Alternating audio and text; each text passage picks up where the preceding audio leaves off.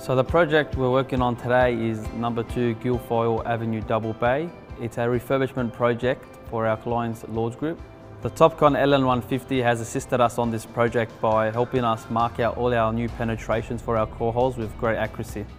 We acquired the LN150 device from Position Partners from a fellow named David Grabham who was on site showing the builder the uses of the machine and how it could affect them and help them out on their sites.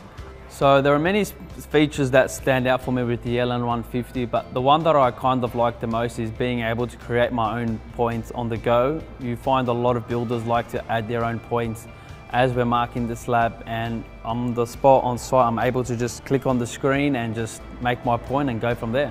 So pre-LN150, we used to mark our penetrations with string lines and tape measures. One of the biggest issues that we usually had as well was steel in our way and a lot of rubbish on the slabs and it is hard for them to keep us a clean slab so you know this has been you know probably the best tool to come into play and help us with that. As a company we find many benefits using the LN150. The biggest one would probably be time saving. We went from marking a slab in 8 hours to 4 hours Having the local position partners team is very important to us, especially when we have uh, technical difficulties. You know, I can easily call their team and get an answer from them. Having them on site and working remotely as well allows me to feel confident when I do come to site that they are there with me and I'm not alone on this device.